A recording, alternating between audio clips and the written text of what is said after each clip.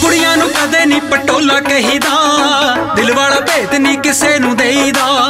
ਨਾਰ ਬਦਕਾਰ ਨਹੀਂ ਉਹ ਘਰ ਜੋੜਦੀ। ਇਸ਼ਕ ਬਿਮਾਰੀ ਬੰਦੇ ਨੂੰ ਹੈ ਖੋਰਦੀ। ਮਾਪਿਆਂ ਦਾ ਸਦਾ ਸਤਕਾਰ ਕਰੀਏ। ਮਾਪਿਆਂ ਦਾ ਸਦਾ ਸਤਕਾਰ ਕਰੀਏ।